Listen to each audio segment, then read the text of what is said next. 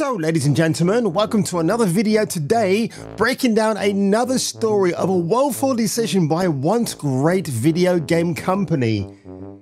Ooh.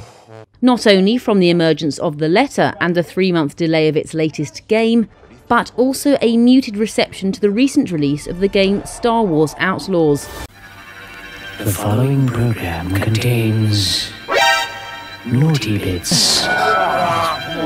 And speaking of naughty bits, ladies and gentlemen, I've been a naughty boy. Why? Because on one of my videos yesterday, I mistakenly said that Waiting for Godot was a Harold Pinter experience, as one viewer absolutely slapped me in the chops with he or she said, well, actually, it's a Samuel Beckett play. So why did I think it was Harold Pinter? I have no idea. Proving once and all, yet again, the audience is smarter than yours truly. Although, mind you, in an episode of Breaking Bad called The Fly, not to be confused with the U2 song of the same name, Jesse and Walter are stuck in their lab for the entire episode. And I think Vince Gilligan was definitely using that bottle episode to be a, a, homage to Waiting for Godot, or in the case of Walter and Jesse, they were just waiting to get the F out of the lab. But besides that, folks, I have two videos for you today, and they both have the same thing in common Ubislop. Wow, when you see this story that I'm going to uncover for you today, I just could not stop laughing. Well, space fans, exciting news, huh? And there's even more in part two. On today's episode of Kung Fu Hot Dog. Okay, you can come. Are you coming? Kind of busy right now. And I'm coming for it, Ken. I'm coming for the fucking money, you piece of shit. I'm like uh, getting the feeling of coming in the gym. I'm getting the feeling of coming at home. I'm getting the feeling. In the ass end of space, even aliens watch Jason King with Kung Fu Hot Dog. This is the greatest show I've seen in my life. Duke Nukem likes this guy.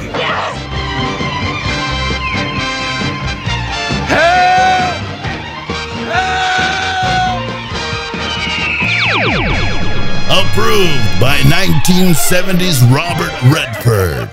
So here we go, folks. That ParkPlace.com reports rumor, which always should be spelt with a, another U, by the way. Star Wars Outlaws only sold 1 million copies to date.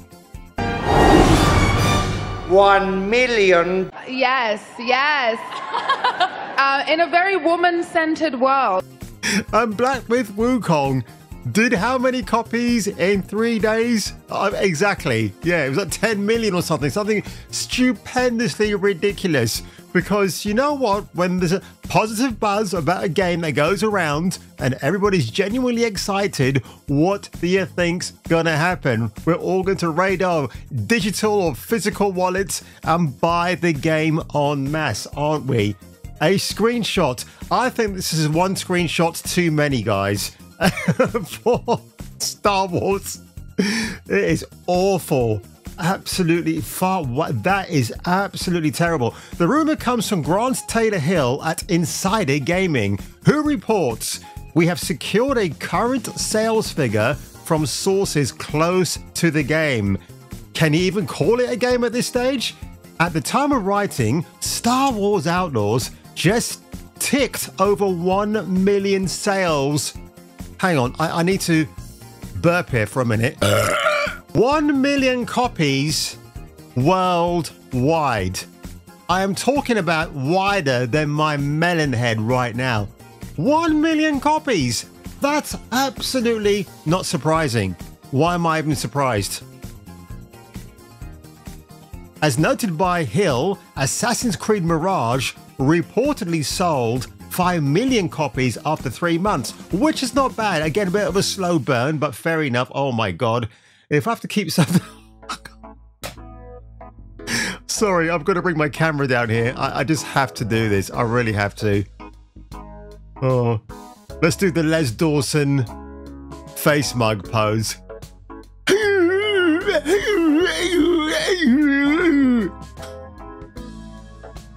Holy shit. That is the most terrifying thing I've seen since Michael Myers from Halloween. Wow, we. Oh my god, it gets worse. This appears to be even worse than initial reports suggested. Games industry writer Christopher Dring noted that according to the UK sales charts, Star Wars Outlaws had done about half of Assassin's Creed Mirage. It is also clearly significantly lower than what the market analysts were predicting, Barclays' Nick Dempsey suggested that Ubisoft would sell around 5 million units back during the company's first quarter 2024 sales. I believe I said, does Nick know what he's talking about? Because he's clearly not a gamer. If you saw the piss poor quality of Star Wars Outlaws, Ryan McCaffrey, you know, the man that IGN brings in at the last minute to really give the viewer and the player some optimism. This is going to be a fantastic belter from the stables, and we all knew it was going to die a death in the quicksand ever so quickly. For more on Star Wars Outlaws, don't miss our exclusive 10 minutes of gameplay, as well as our behind the scenes look at how Nix was created. behind. That pretty much sums up Star Wars Outlaws. Yeah, so what Dempsey goes on to say that in the first quarter and in the second quarter, you're kind of looking at estimates of around 200 to 230 million euros. I mean, dude, what was this guy actually thinking about? For the new release of Star Wars Outlaws, when I look at the $70 price tag, and then assuming what you might get from it, which was absolutely nothing but a bug ridden fest of a game, I'm getting to around 5 million units something in that sort of bracket. First of all, where could I be going wrong with what I was thinking? Secondly, are you just being pretty conservative in your guidance? Because I guess given the interest in that game, we might have what we thought would be more than 5 million units. Absolutely hysterical. The extremely low number makes sense given Ubisoft's recent press release because people are now suggesting they could be heading for possible bankruptcy. But again, folks, that's probably hyperbole on my part. The company also admitted that the cut was made as a reflection of decisions taken from Assassin's Creed Shadows and the softer than expected launch for Star Wars Outlaws. Can somebody take Yves Guillemot into the office, pull his trousers down, and do what they did to Kevin Bacon in Animal House. Thank you, sir. May I have another? It's also noted Additionally, despite solid ratings, listen, ratings don't mean jack shit if a game is absolutely dog water bird shit, right? And user scores across the first, partly, and Epic stores that reflect an immersive and authentic Star Wars universe. Apart from Tabak or Sabacc, what else was authentic about it? Nothing.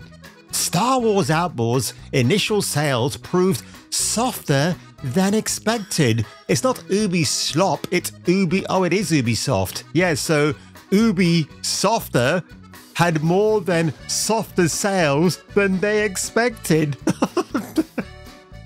Holy shit, man.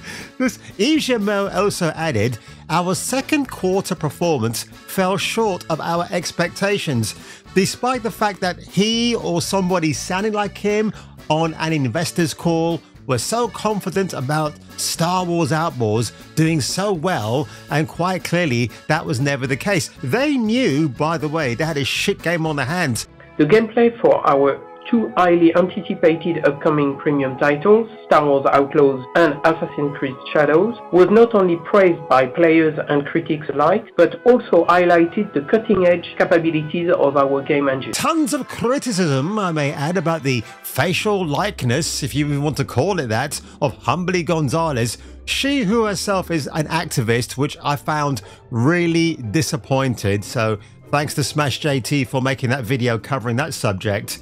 But again, it's all filled with, when you read the rest of this article, it's all filled with basically, well, we're just doing our best to steady the ship of Ubisoft, and quite clearly, that ship is, is going to be like the Titanic. It's going to go to the bottom of the ocean, and uh, nobody's going to talk about it ever again. When you think about the last Far Cry game, like people say was the best one after 3, it was probably Far Cry 5. And that's really saying something, isn't it? But you know what? I'm absolutely not surprised to see this. I mean, look, look, even this, this screenshot right here just looks goddamn awful. It really does.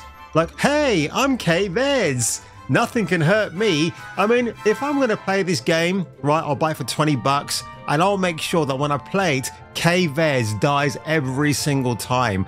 I saw Mauler or Critical Drinker playing they're doing a live stream of this game and I think it was Mauler and he kept getting killed at a particular spot. So so much for Kay Vess being this super invincible Han Solo female equivalent of nowhere near Harrison Ford's quality getting killed in the game on multiple attempts. I thought that was so funny. And of course, guys, you know, I've, I've got to say this, and I'm just going to say this again because I love to milk this to death like a pair of mommy milker titties. Hideo Kojima, just imagine him making Star Wars Outlaws. Give him all the time he wants to make that game. His female protagonist would make Quiet from Phantom Pain look like a, a beginner's sketch. He would have come out with something amazing. So they might have still used Humberly Gonzalez, but my, or actually, I would have gone for Margaret Qualley, uh, Andie MacDowell's daughter. I would have used her again uh, for that game, and I'll tell you what, it would have been fantastic. And again, maybe the casting of a Latina actress like Gonzalez was a little bit on the nose, you know, because you got Navid Khavari as the narrative director, and they worked together before on a pre. I think it was Far Cry 6. They both worked on. But just because you had a little bit of success with that game doesn't mean the same is going to translate over to Star Wars Outlaws. I think it, it serves them right. And in my follow up video about Ubisoft and the other ongoing drama about them, I can honestly say, who? It's not Ubisoft anymore, it's who? Ubisoft? But on that one, ladies and gentlemen, if you enjoyed this crazy video today, make sure you give it a like, make sure you slap that subscribe button.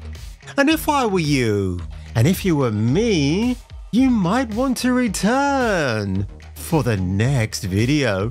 Tune in next time, Space Freaks, and hear your doobry go ping in the next gripping installment of Kung Fu Hot Dog. It's a very big game, and we feel that people will really see how vast and complete that game is. It's a really full triple, quadruple A game that will deliver in the long run.